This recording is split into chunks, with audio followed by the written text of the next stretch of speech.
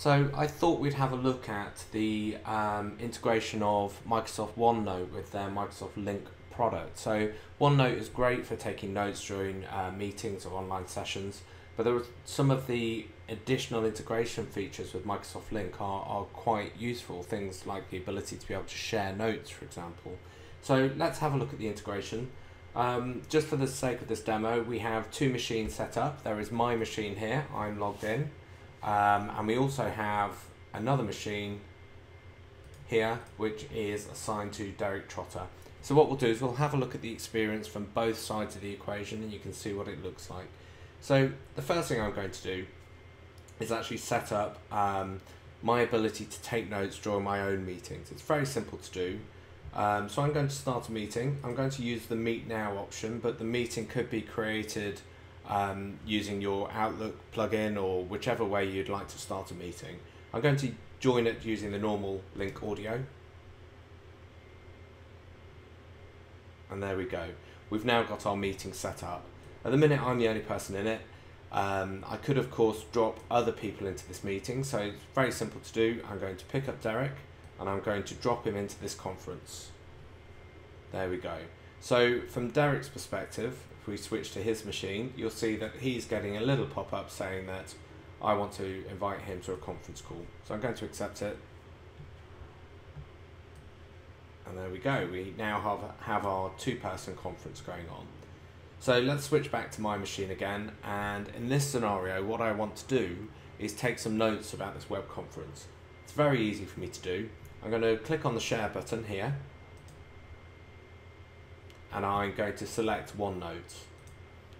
Now I want to create a note that's just for my own purposes, it's not going to be shared in a meeting. We'll touch on shared content in a few minutes. So what I'll do is I'll click on my notes and I'm going to decide where I want this note to be. I'm going to pop it into the Contoso group, which is my example company. So we'll select there, click OK. Up pops OneNote. It's giving it a title, so my meeting notes, the date and the time at the top there. Notice that it's also included, for example, the participants in the meeting. Currently that's Derek and myself. If I was to drag somebody else into the meeting, for example Andy here, you will see that the meeting content will be up, updated on the fly, so you will always get details as to who is attending that conference. Now, of course, I can go ahead and take it, take my meeting notes. Um, all the features of OneNote there are there. We can drop in pictures and all kinds of things. Very, very useful um, and a great way to take notes. So let's close that down. Um, and what we'll do now is we'll move on and have a look at the way that Lync handles um, shared notes within OneNote.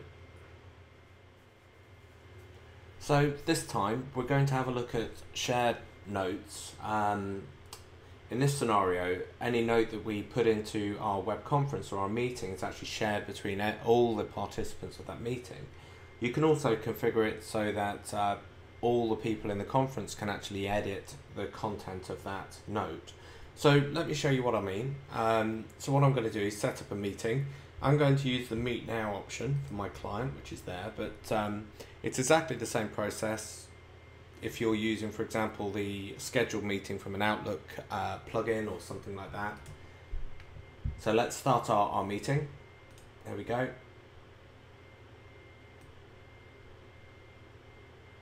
what I'm going to do is pop into my share, go to OneNote and select this time shared notes because I want to share the note amongst all the members of this conference.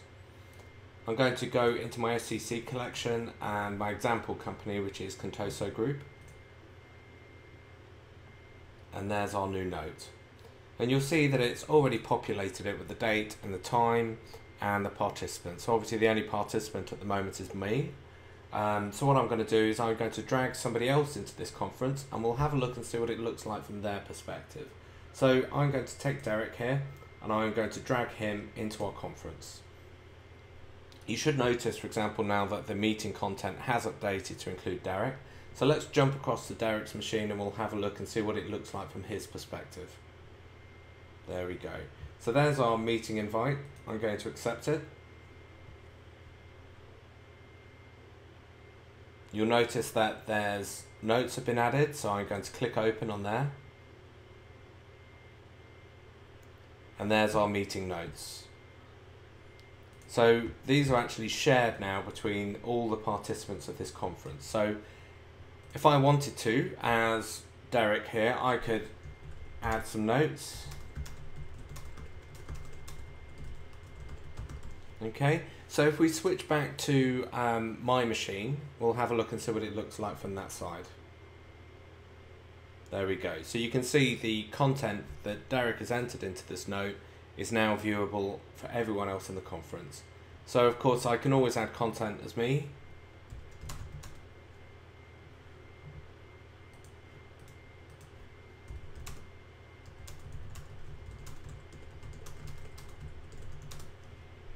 And again, if we look on Derek's machine, we should now see that content also syncing across to that machine as well.